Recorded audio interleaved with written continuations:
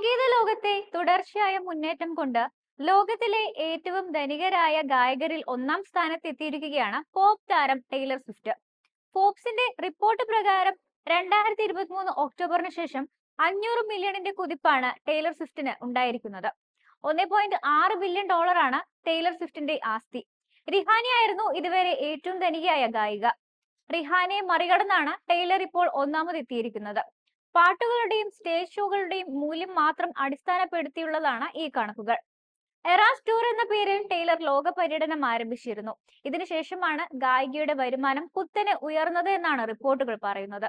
രണ്ടായിരത്തി ഇരുപത്തിമൂന്ന് മാർച്ച് പതിനേഴിനാണ് ടൈലർ പാട്ടുകളുമായി യു എസിൽ നിന്നും ലോക പര്യടനം ആരംഭിച്ചത്. ഇതിനോടകം തന്നെ നൂറ്റി അൻപത്തിരണ്ട് വേദികൾ പിന്നിട്ട് കഴിഞ്ഞു. ഈ വർഷം ഡിസംബറിൽ കാനഡയിൽ വെച്ച് എറാസ് ടൂർ അവസാനിക്കും. എറാസ് ടൂറിൽ നിന്നും മാത്രം ഏകദേശം അറുന്നൂറ് മില്യൺ ഡോളറിനടുത്ത് ടൈലർ സമ്പാദിച്ചിട്ടുണ്ട് എന്നാണ് ഫോക്സിന്റെ കണക്കുകളിൽ നിന്ന് മനസ്സിലാക്കാൻ സാധിക്കുന്നത്. ലോക പര്യടനം മാത്രമല്ല ലോകമെമ്പാടും ആൽബങ്ങൾ വിറ്റഴിച്ചതിലൂടെയും കോടികൾ നേടിയിട്ടുണ്ട് ഈ ഗായിക. മ്യൂസിക് റിലീസുകളിലൂടെയും പെർഫോമൻസുകളിലൂടെയും കൊണ്ട് മാത്രം ഇത്രയധികം പണം സമ്പാദിച്ച ചുരുക്കം ചില ഗായകരിൽ ഒരാളാണ് ടൈലർ സ്വിഫ്റ്റ് ലിസ്റ്റിൽ രണ്ടാം സ്ഥാനത്തുള്ളത് പോപ്പ് ഇതിഹാസം റിഹാനയാണ് ഒന്നേ പോയിന്റ് നാല് ബില്യൺ ഡോളറാണ് റിഹാനയുടെ നിലവിലെ ആസ്തി. നേരത്തെ ലോകത്തിലെ ഏറ്റവും സമ്പന്ന ഗായികയായിരുന്ന സമയത്ത് ഒന്നേ പോയിന്റ് ഏഴ് ബില്യൺ ഡോളർ ആയിരുന്നു റിഹാനയുടെ ആസ്തി. പിന്നീട് ഇത് ഒന്നേ പോയിന്റ് നാല് ബില്യൺ ഡോളറായി ചുരുങ്ങുകയായിരുന്നു. ഈ വർഷം നടന്ന അനന്ത് അംബാനിയുടെയും രാധിക മെർച്ചന്റിന്റെയും പ്രീ വെഡിംഗ് ആഘോഷവേളയിൽ റിഹാന പാടാനെത്തിയിരുന്നു. താരം എഴുപത്തിനാല് കോടി രൂപയാണ് പ്രതിഫലമായി വാങ്ങിയത്. റിഹാന ഇന്ത്യയിലെത്തിയതോടെ ആരാധകർ ആവേശത്തിലാവുകയും ചെയ്തിരുന്നു. അംബാനി കല്യാണത്തിൽ പാടിയിട്ടും താരം വരുമാനത്തിന്റെ കാര്യത്തിൽ എന്തുകൊണ്ട് പിന്നിലായി എന്ന തരത്തിലാണ് ഇന്ത്യയിലെ ആരാധകരുടെ ചർച്ചകൾ ഉയരുന്നത്. ഫെൻഡി ബ്യൂട്ടി സാവേജ് എക്സ് ബ്രാൻഡുകളുടെ ഉടമ കൂടിയാണ് ഗായികയും ബിസിനസ്സുകാരിയുമായ റിഹാന.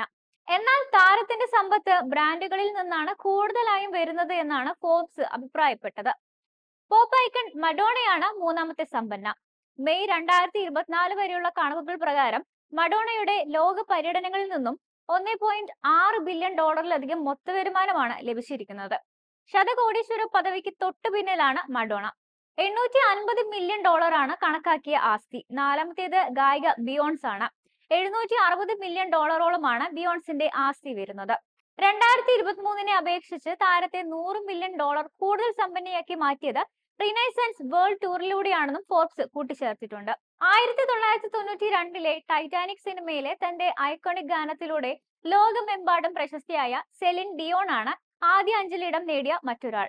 കനേഡിയൻ ഗായികയ്ക്ക് ഏകദേശം അഞ്ഞൂറ്റി അൻപത് മില്യൺ ഡോളർ ആസ്തിയുണ്ട്. ആസ്തിയിൽ കൂടുതലും താരത്തിന്റെ ലാസ് വേഗസ് കൺസേർട്ട് റെസിഡൻസികളിൽ നിന്നാണെന്നാണ് ഫോബ്സ് പറയുന്നത്.